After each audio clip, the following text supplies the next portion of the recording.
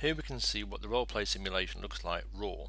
In front of us we can see the shared action viewer where we can get a heads up display of any messages that are coming from other worlds. Below we can see a control panel where we can control the roleplay, set highlights and also indicate when the video has started. Now we can see a roleplay deployed.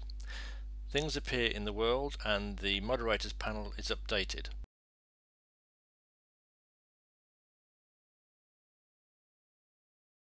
We can see we've been joined by two other users. Let's take them round the elements of the world. First of all there's a board displaying the roleplay and what stage we're at. I'm joined by user 2 and this is the view that user 2 sees. She can see me, the moderator, and as I move off to the right, she can follow me. Here we can see a description of the roleplay simulation, along with some links that the user can click on, giving them some more information as background to the simulation.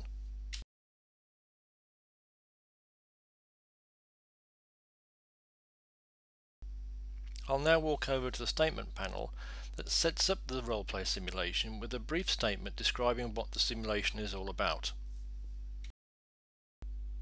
I'll get the roleplay simulation going by clicking on the Icebreaker Vote button. This is what the user sees.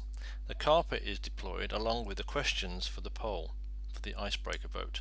The user can then move on to the carpet. Please note the fact that there's a timer running so that the moderator knows when to stop the icebreaker vote. Now the user can vote. This is the view the moderator sees with the two users having voted on the carpet. The moderator can see the timer running down as can the users. When the moderator is ready, he can set the next stage running. And this next stage is to view the results of the icebreaker, and there you can see them displayed available for everyone to see. The next stage is for the moderator to assign roles. Here he can see which users are logged in and he can assign the roles to either pessimist or optimist and then click on OK. The user is sent a text message telling her which role she has been assigned. She's also told to select an item from the Placemarks menu.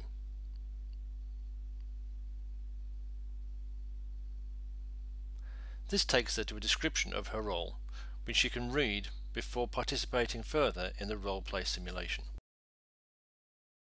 As a moderator I can move over to the positions where the users are now located. Then I can set the next stage running to prepare statements.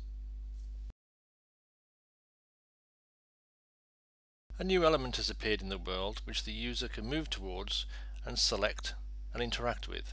First of all the user selects from the right hand menu best view so it puts it in the best position in the client display window. By closing the list of users the user gets a better view of the post-it board on which to add some statements. A pop-up window appears for the user to add a summary sentence for a statement. Below that some more details about the statement that she wishes to add about the topic. When she's completed editing her statement and the summary, she clicks OK and it's added to the window for others to see.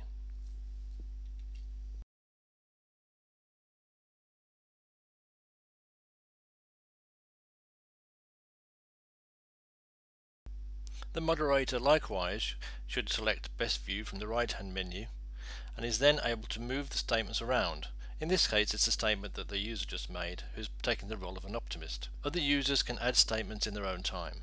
So for example the user taking the role of the pessimist may add a statement of their own which will also, also appear on the post-it board.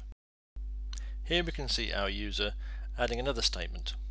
First of all she creates a summary sentence and then adds a statement. When she's completed editing she clicks on OK.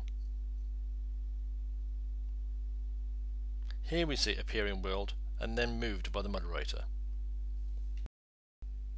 When the users have created enough statements, I can then move them on to the next step, which is to read their statements. Then, when they've done that, they can mark and group them. The display of the statements changes somewhat, so the user can now assign a mark to each statement he or she believes is important. Similarly, other users can make marks and those marks are reflected in the display. The moderator can move on to the final vote once the users have completed marking and grouping their statements. The user is given a message that they're now at the final vote stage, so she controls her avatar and moves off towards the carpet for that final vote.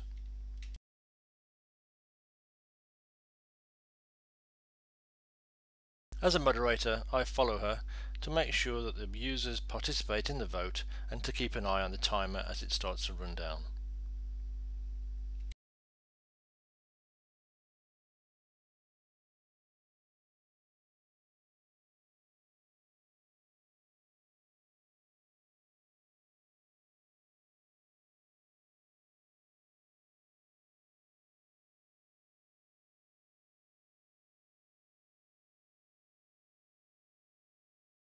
When the users have finished voting or when the time has run out, I end the simulation.